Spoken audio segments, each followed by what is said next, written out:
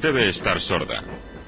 Sí, querido. ¿Sabe a qué hora llegaremos a Stirling? A las seis menos cuarto.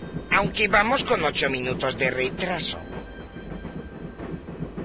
¿Conoce usted bien Stirling? Sí, lo conozco. ¿Es ahí donde van ustedes, pareja de tortolitos? Sí, y nosotros.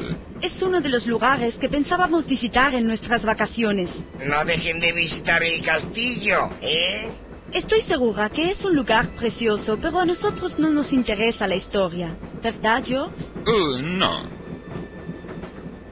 ¿Hay en Stirling una iglesia que se llama St. Ninians? Sí, la hay. Y sé por qué quieren ir allí. ¿Lo sabe? Por supuesto que sí. Es evidente que están enamorados. Se van a casar. Y luego dicen que el romanticismo ya no existe. ¿De qué trata el libro que está leyendo? Oh, es uno que cogí en la estación. Una historia medieval de detectives. Bastante bien escrita para ser este tipo de cosas. Lleva descatalogado hace años. ¿Cómo se titula el libro? El cruzado jorobado de la capa, de Molly Pigram. Creí que el autor era una mujer, pero no lo es. Su nombre verdadero es... Profesor Nigel Pigram. Eso es. ¿Le conoce? No, nunca lo he visto. Aunque George es un amante suyo. ¿Tiene el nombre de Merlin algún significado para usted? Merlín, un maestro de ilusiones. Oh, dijo usted Merlin. Entonces no, ninguno.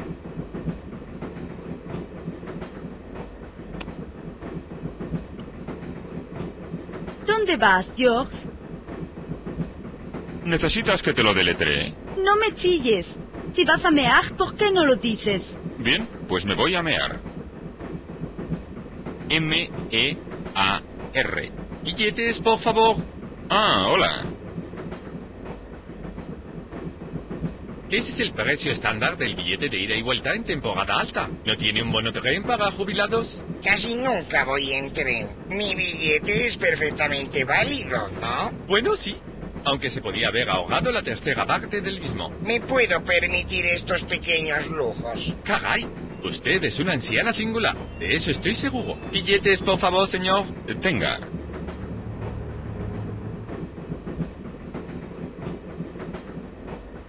Van a Stirling, ¿eh? Sí, así es.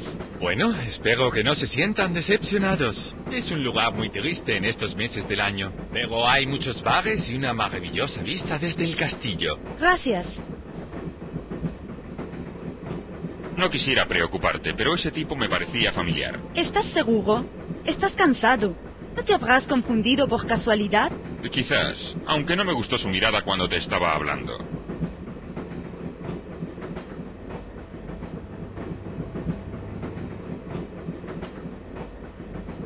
Puedes estar quieto, George? Tengo que ir al lavabo. Cuando estés ahí, busca el vagón restaurante, George. Aunque parezca mentira, estoy tan hambrienta que comería comida inglesa. Vale.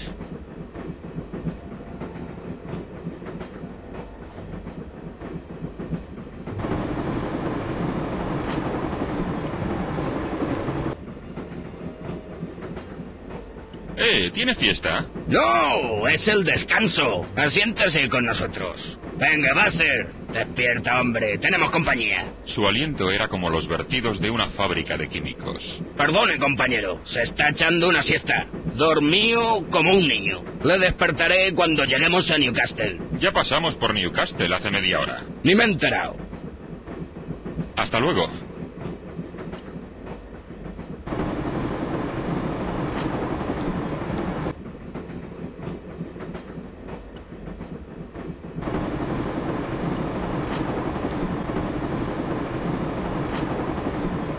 Ah, no. Guido, ese cáncer del hotel. Bueno, él no me daba miedo. Eh, amigo, este es el vagón de no fumadores. Bueno, quizás sí me daba miedo. Empeoró. De repente me di cuenta a quién me recordaba el revisor. Eklund, el asesino de Marquette.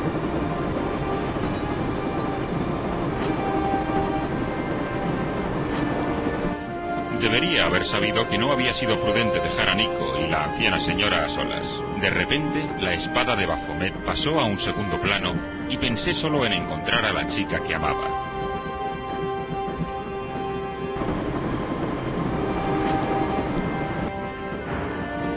¡Eh, amigo! ¿Vio dónde fue la joven señorita del compartimento contiguo? No, amigo, no lo vi. ¿La perdió? Ha desaparecido. Y la anciana también. Creo que están en peligro. Vaya, hombre. Una vieja también. Sí, tiene que ayudarme. A lo mejor se han metido en el lavabo, ¿no? No creo. Nunca van solas. Siempre van de dos en dos, ¿sabe? No, la han raptado, estoy seguro. Tengo que buscarla. ¿Qué le detiene, amigo? El revisor no es lo que parece. No quiere que le vea, ¿no? Sí, eso es, sí. No es problema. Escuche, necesito su ayuda. Ya ha pasado. Hay un tipo en este tren que intenta matarme. Tranquilo, hombre. No intentará nada con nosotros aquí. Somos veteranos. ¿Ha visto acción Bragging Sea? No recuerdo que el ejército británico tomara parte en un conflicto en un sitio llamado Brightlingsea. Créame lo que le digo, amigo. Está en lugar seguro. ¿Qué es eso que está bebiendo? Huele a gasolina. Ya. Es solo para hombres de pelo en pecho. Pelo en las órbitas de los ojos mirándole a usted. ¿Ha visto a este hombre antes? Sí, hombre. Es Chalky White. Y quiero que me acoquinen mis 10 libras. No, es un asesino internacional y es conocido por el nombre de Khan. Bueno, hombre, pero casi es cierto, ¿no? Hasta luego.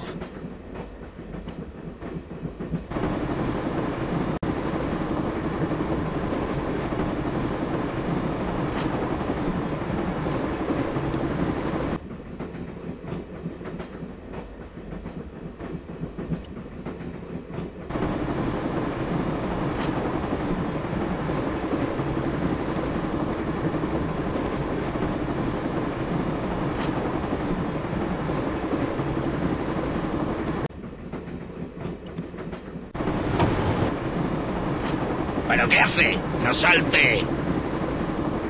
No pensaba saltar. Voy a subir al techo del tren. ¡Hala, venga! Míreme.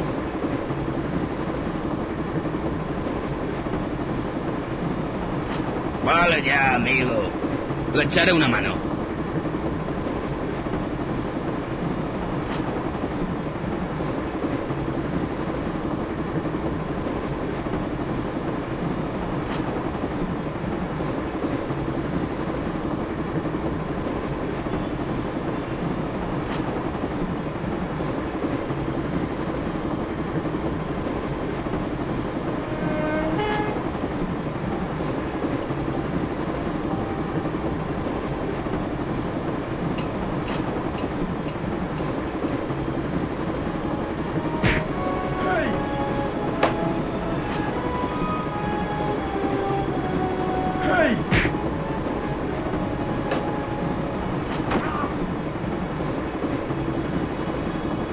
Siempre había querido detener un tren y ahora tenía la oportunidad.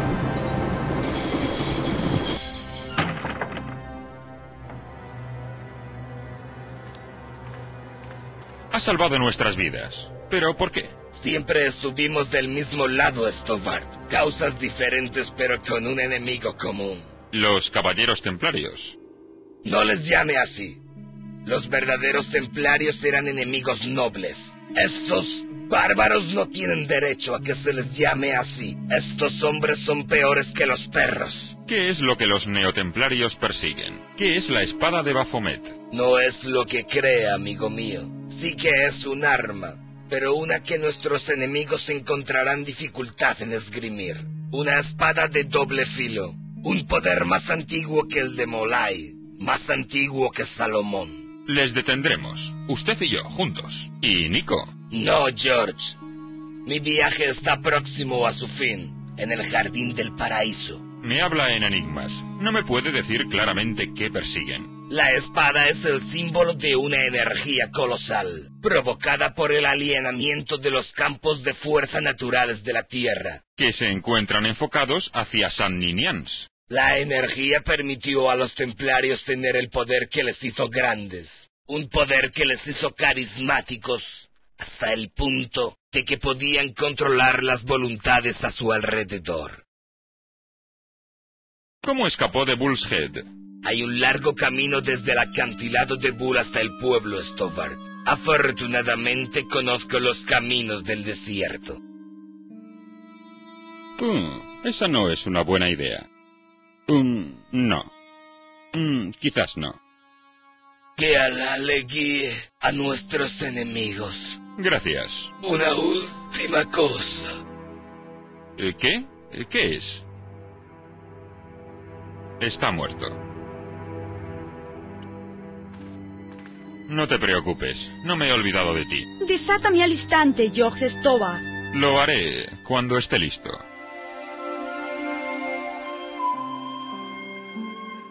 Eso no está bien, George. No. Te has aprovechado de que tuviera las manos atadas.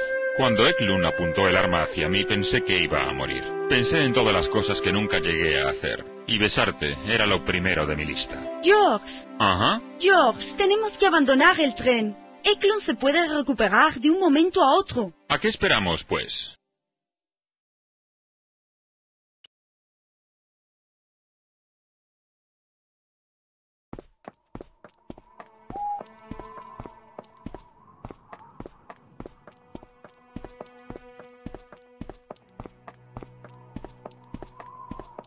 Me sentiría mejor si tuviéramos un arma o algo. Cam me dio una cosa. ¿Qué?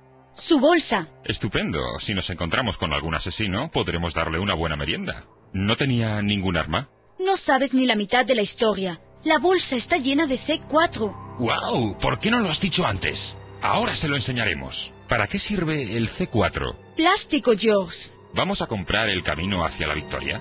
Dos kilos de explosivo plástico. El detonador se ha roto.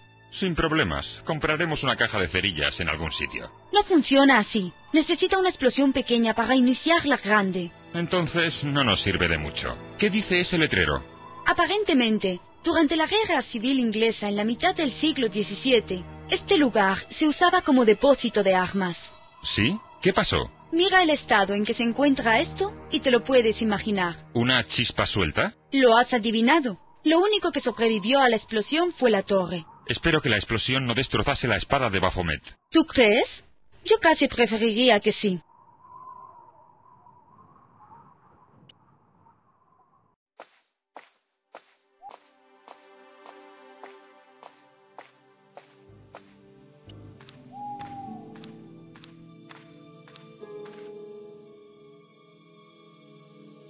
Mm, quizás no.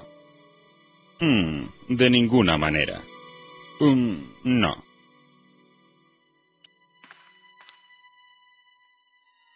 Intenté empujar el panel, aunque no me sorprendí cuando ni siquiera se movió. La manivela giraba fácilmente y la rueda grande comenzó a dar vueltas. ¡Demonios! De repente me quedé con la manivela en la mano.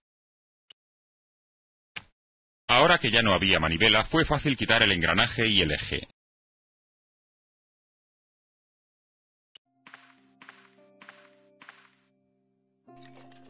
Rebusqué entre la gravilla y encontré una vieja pipa de barro con el cañón roto. Debajo de una de las piedras encontré una moneda de metal oxidada con el tiempo.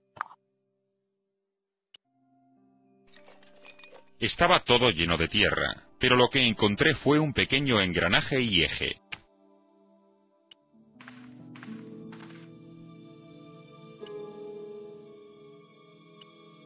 El piñón no encajaría en el agujero. El engranaje entró limpiamente en la cuenca del ojo.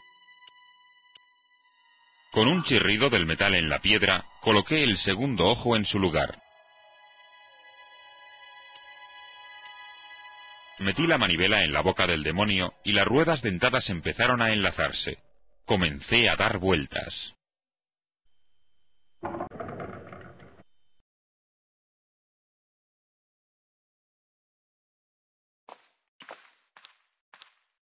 Tan pronto vi la luz de las antorchas, me di cuenta que los falsos templarios se nos habían adelantado en llegar hasta la espada. Pero ¿dónde estaba ahora? ¿Y por qué había tal silencio?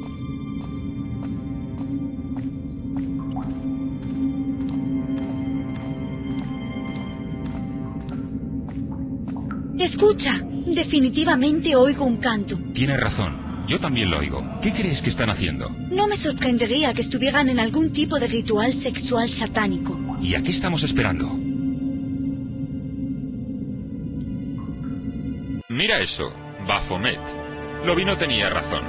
Este lugar era antiguo incluso para los templarios. Este lugar entero. Esto es Baphomet. Finalmente la verdad. Los templarios nunca habían adorado a este ídolo, más que habían adorado al arco iris. Pero el arco iris era considerado como un símbolo de un pacto con Dios, quien les revelaría el lugar. Rosso, el miserable traicionero. Al contrario, el inspector Rosso ha sido un modelo de obediencia, una importante cualidad en un verdadero templario. Estate quieto y atento si deseas vivir mucho tiempo. Hermanos y hermanas, nos hemos reunido aquí para presenciar la nueva forja de la espada rota. Aquí, ante el centinela de Dios, Baphomet, gran maestro y caballero de Baphomet, te saludamos y proclamamos nuestra obediencia hacia ti. Te saludo, guardián del templo. Hace siete siglos perdimos nuestra arma más grande, la espada de Baphomet. Ahora nos preparamos para volver a forjarla y esgrimirla contra nuestros enemigos. Conduciremos a la gente a una nueva orden donde todas las fronteras desaparecerán. Todos estaremos unidos bajo la cruz roja de los templarios.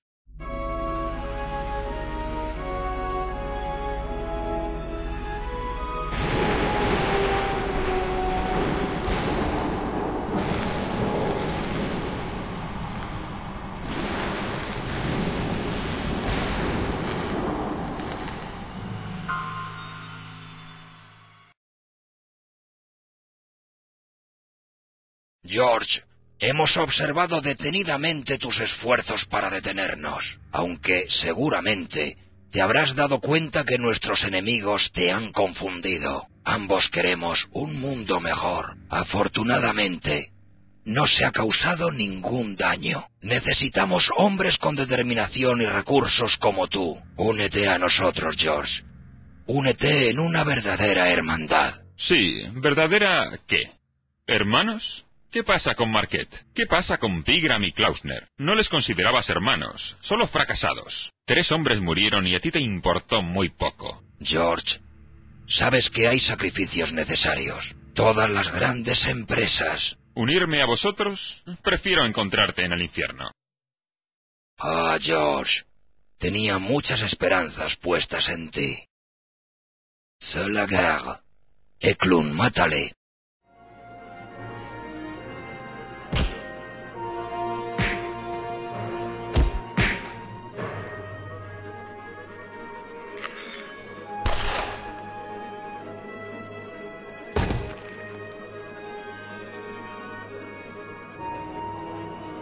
Lo juro. Quería que todo fuera bien.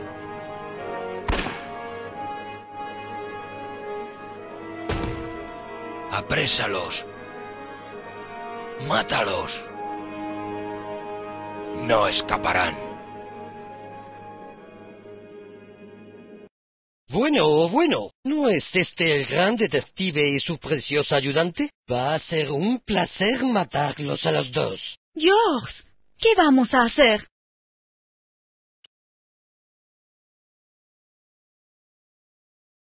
Venga, Nico, nos vamos. Idiotas, no podéis escapar de nosotros. Guido, deténles. Pero, maestro, la pólvora. Esa pólvora data de la guerra civil inglesa, estúpido. Tiene más de trescientos años. ¿Cómo de explosiva crees que es? Pensé que todo se había acabado. Pero Nico tenía una última jugada en la manga, o en su bolso, para ser precisos. Un bolso lleno de explosivos plásticos. Quizás este material era nuevo.